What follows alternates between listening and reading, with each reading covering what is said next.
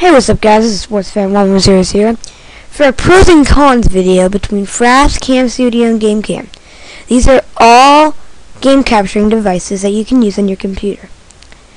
Well, all, all three systems have their pros and cons. For example, Fraps and GameCam both cost money, which a lot of people don't like about it, and their viewers have gone down, and rates. Cam Studio has gone up big time because it's completely free. So you might want to get the, uh, think about getting that. Game also. This will option game cam out probably. Fraps and Cam Studio both have a menu screen as you see right here for Cam Studio, what I'm using. Fraps does, but I can't bring Fraps up right now because something's wrong with it. GameCam is does not have an option screen. It's just in the corner, but you still have to buy the buy it.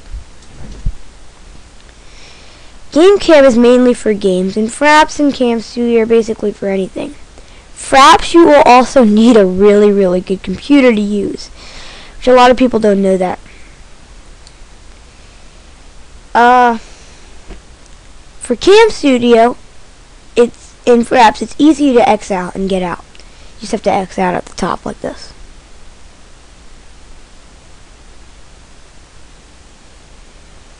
But with Game Cam, it's way harder. I'm not sure exactly how hard it is, but it is harder. Um,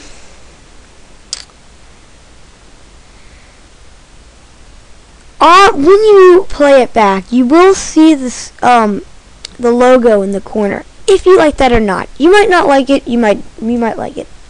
Fraps, same thing. It has the website at the top, actually, though. Show, um, Cam Studio actually shows nothing, with every every way, full screen or different types. I will say the Cam Studio does have a better option screen or options menu and everything. uh, and you have two types of um recording systems as SWF and AVI.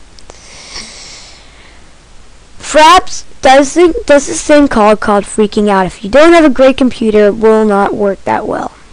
Cam Studio also has uh, add-ons to make the quality way better, what I'm using. You will start with Microsoft Video One, which is not the best quality. Fraps is already in the best quality, which you might not li might, might like but you do have to buy it. I'm not sure how much it costs. If it if I find out, I'll put, post it in the description. I will put all I will post all the links for um all three systems in in the description also. Um, for my opinion, Cam Studio is better than both of these two, Fraps and Game Cam. It has, as I was saying, it has a few more little privileges. Well, not privileges, but it's a few a little better. The rates have gone up with Cam Studio, I swear. Uh, well, I guess that's pretty much it. I've covered everything. If you have anything else that I didn't cover in this video, you can comment. And remember my rule. If you comment and rate, I will subscribe to your channel. Well, anyway, that was a uh, little pros and cons between Fraps, Cam Studio, and GameCam. I'll see you later. Bye.